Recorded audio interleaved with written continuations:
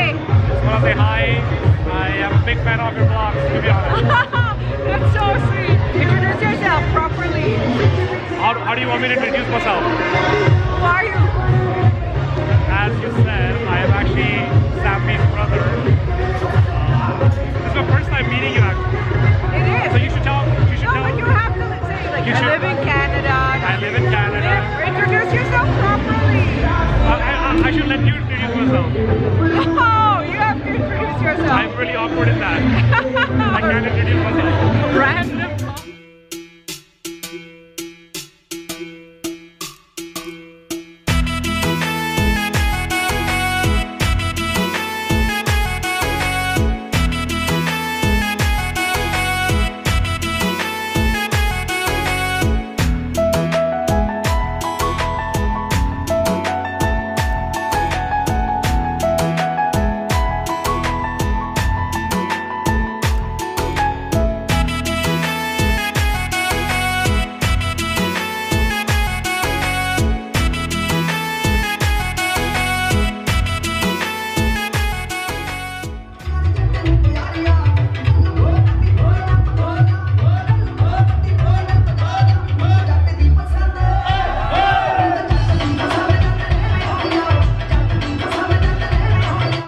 oh my goodness did you see all of that food? First day was really a lot of fun. I'm on my way for day two the mehendi ceremony. So if you would like to travel along click that subscribe button. And if you like the vlog put a thumbs up. Thank you so much for watching.